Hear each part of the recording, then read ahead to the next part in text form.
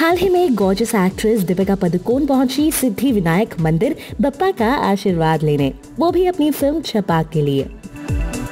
मान्यता ये है कि जो भी सिद्धि विनायक मंदिर जाकर भगवान के सामने हाथ जोड़ता है और उनसे जो भी मन्नत माँगता है, वो पूरी होती है। और क्योंकि दीपिका पदुकोण अपनी आने वाली फ़िल्म छपा की सफलता के लिए वहाँ पहुँची थी, लगता है कि बप्पा का आशीर्वाद उन्हें मिल गया। क्योंकि फ़िल्म इतनी सारी कॉन्ट्रोवर्सी से घिरे रहने के बाद भी काफ़ी अच्छा परफॉर्म कर रही है।